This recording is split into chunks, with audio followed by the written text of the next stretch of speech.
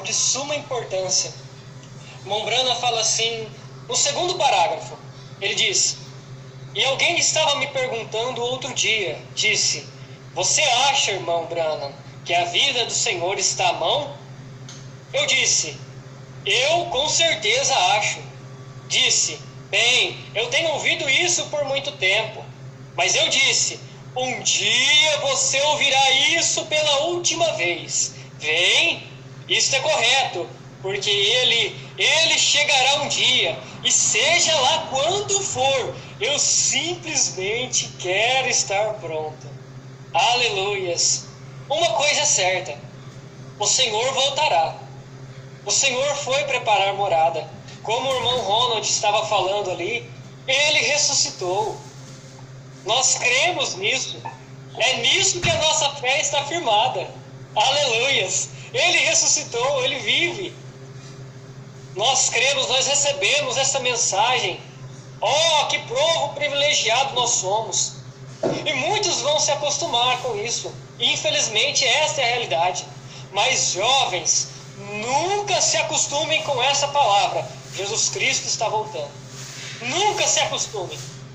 Isso, isso deve colocar nossos corações em chamas. Oh, irmão Manuel, vão perguntar: ah, mas por que, que aquele jovem não fez mais live? Por quê? O que, que aconteceu? Aquele jovem daquela determinada igreja? Ah, alguém vai falar assim: ó, oh, aquele jovem foi arrebatado.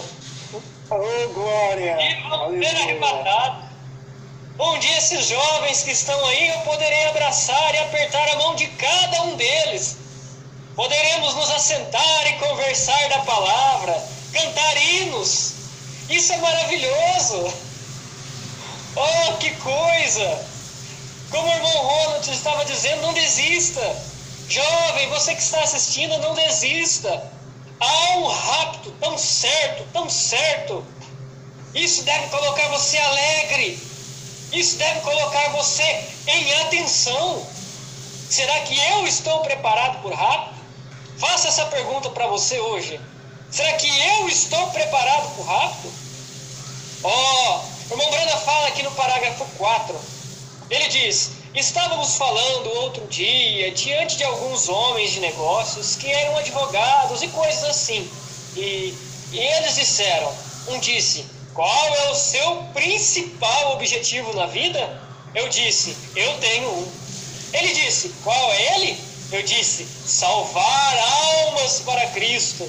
Essa é a, a única coisa que eu a minha maior ambição e única ambição é ver Jesus Cristo glorificado. Eu vi